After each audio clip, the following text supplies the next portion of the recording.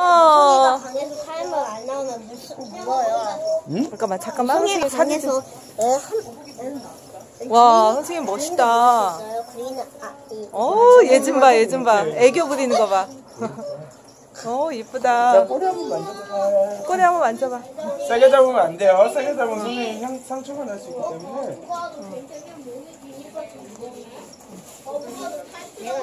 와, 살살. 살살 옷에 올려주고 싶지만 어, 위험해. 옷이 망가질 거예요. 선생님 팽맨 개구리가 왜 이름 팽맨이게요? 네가 아까 얘기했잖아.